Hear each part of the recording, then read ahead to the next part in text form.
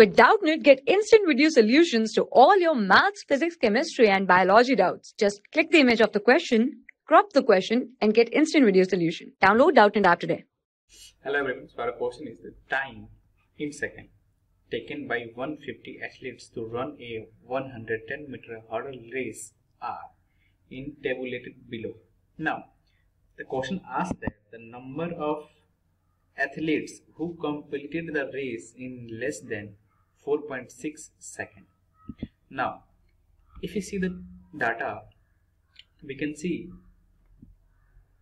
this 13.8 to 14 is less than 4, 14.6 and this is also less than 4, uh, 4.6 this is also less than 4.6 and this data also because this uh, this class is varies to 14.4 to 14.6 so we can say this data is also less than 4.6 I mean this class of time.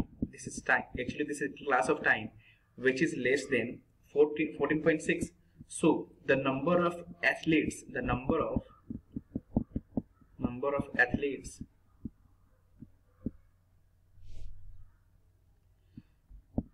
number of athletes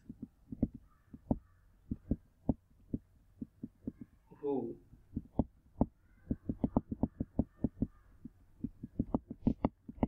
completed the race in less than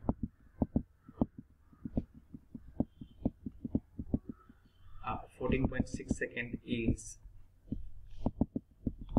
that is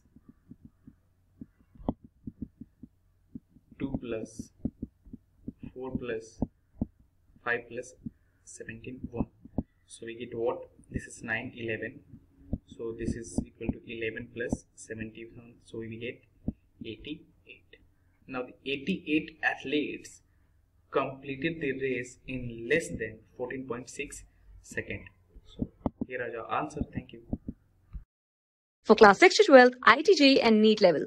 Trusted by more than 5 crore students. Download Doubtnut app today.